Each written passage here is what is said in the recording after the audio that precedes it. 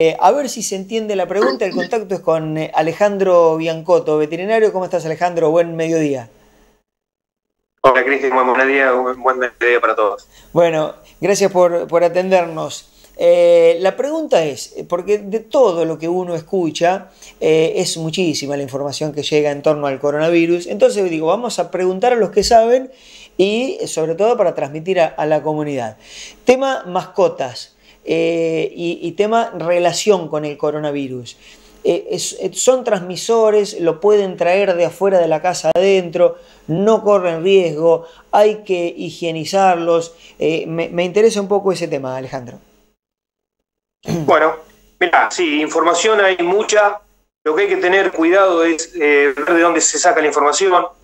muchas veces hay informaciones que, que nos llevan a, sospechar de algo y nos asustan un poco. En realidad, el tema del coronavirus no lo transmiten las mascotas, ¿sí? Sí eh, se ha estudiado y, como es todo tan nuevo, se va, se va evolucionando en el estudio, pero se ha comprobado, eh, y no fehacientemente todavía porque faltan estudios, pero sí se ha comprobado que eh, pudo haber sido una antropozoonosis, o sea, eh, que los, las informaciones que hay de los gatos, el gato infectado o algún perro también por ahí se nombró, que haya sido una infección del humano al, al mascota eh, y no de la mascota al humano.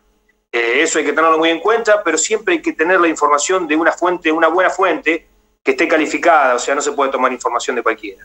Está bien. En cuanto a lo que vos decís de, de que los animales pueden llegar a traer el virus eh, en sus patitas, como se está diciendo.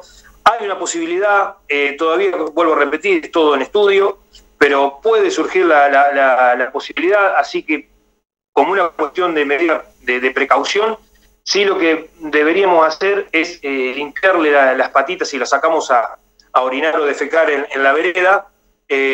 por supuesto, primero levantar la materia fecal con una bolsita, como deberíamos hacerlo siempre pero eh, sí limpiarle las patitas eh, de los animales sería una, medida, una medida de precaución. Ajá, exactamente. Claro, es nuevo para todos, incluso para los investigadores, como pasa en muchos otros ámbitos, eh, ya sean síntomas, ya sea vacunas, ya sea precauciones. Bueno, es nuevo para todos y bueno, día a día por ahí nos vamos enterando más cosas. Sí, sí, la evolución es, día a día, el estudio es día a día, nos vamos desasnando cada vez un poco más.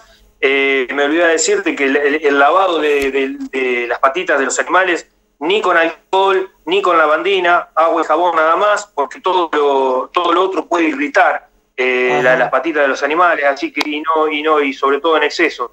Así que eh, con agua y jabón, como hacemos nosotros, es suficiente.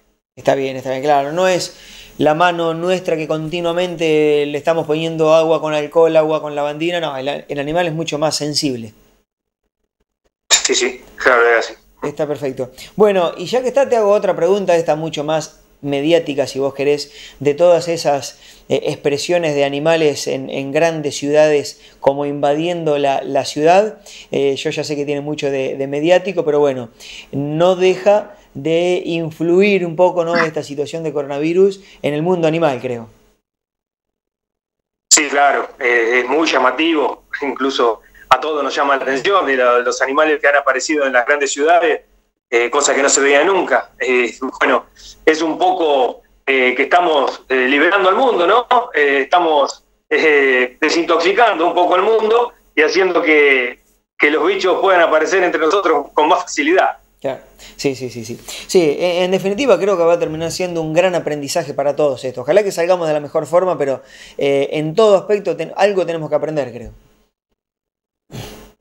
totalmente, se, sacan de estas, de estas situaciones, se pueden sacar cosas muy buenas, mucho, mucho aprendizaje, como de todo en la vida, ¿no? Pero espero, espero que esto nos enseñe un poco y nos haga cuidar un poco más a nuestra salud. Este, no, no, no provoquemos a una enfermedad, no, no la incentivemos, no la, no la motivemos. O sea, tenemos que cuidarnos entre todos, eh, tratemos de no salir, porque eh, el que no haya ningún caso, me parece a mí, uno un poco de, de, sapiencia en medicina tiene, eh, y no, este, no, no, no podemos arriesgarnos, o sea, no, no, no hagamos que, no tentemos a la enfermedad,